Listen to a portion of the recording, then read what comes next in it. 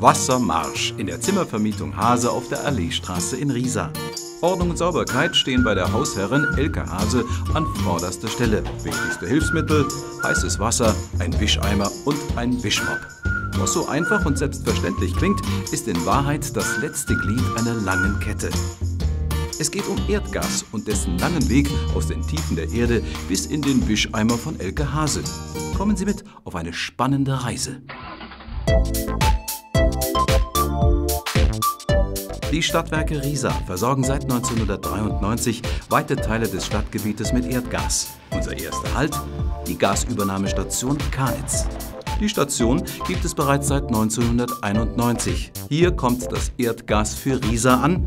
Was damit hier genau passiert und wie die Reise weitergeht, das erklären uns diese beiden Herren, Meister Sven Uhlemann und Gasmonteur Tim Schwarz.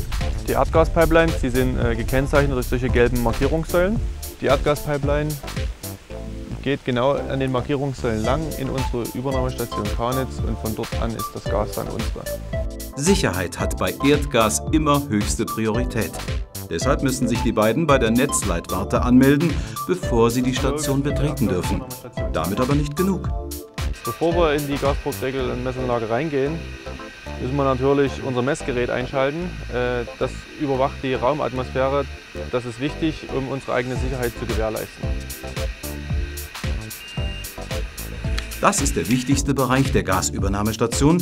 Hier wird der Druck des einströmenden Gases reduziert von 45 Bar auf 20 Bar.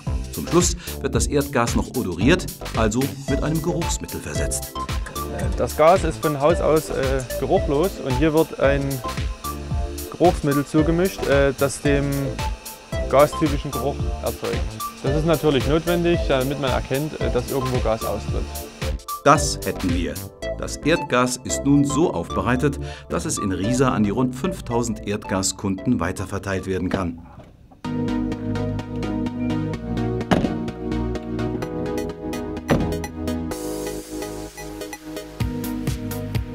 Die Verteilung erfolgt über ein weit verzweigtes Netz, bestehend aus 32 Kilometer Hochdruckleitungen, 32 Kilometer Mitteldruckleitungen, 111 Kilometer Niederdruckleitungen und 34 Gasdruckregelanlagen. Nächste Station. Die Gasdruckregelanlage. Genauer gesagt, jene auf der Alleestraße. Sie ist für die Zimmervermietung Hase von entscheidender Bedeutung. Recht unspektakulär auf den ersten Blick. Gasdruckregelstation sieht zwar relativ unspektakulär aus, ist aber sehr wichtig für die Versorgung unserer Gaskunden. Nicht vergessen, Messgerät zur Prüfung der Raumatmosphäre. Hier kommt das Erdgas aus der Übernahmestation an, wird hier mit 6 Bar durch den Filter geleitet, wo es von Schmutz gesäubert wird. Geht dann hier in den Gaszähler rein, wo es in Kubikmeter gezählt wird. Von hier aus geht es dann in den Gasregler rein, wo es von den 6 Bar den 23 Millibar runter reduziert wird und geht dann durch diese Gasleitung ins Gasnetz unserer Kunden.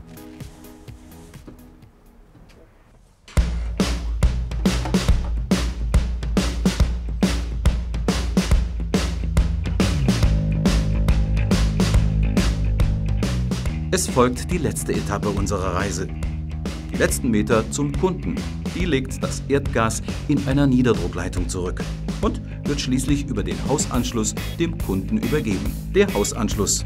Er ist die Nahtstelle zwischen Kunden und den Stadtwerken Riesa als Betreiber des Erdgasnetzes. Übrigens sind solche Kundenbesuche wichtig, denn jeder Hausanschluss muss regelmäßig einer Wartung unterzogen werden.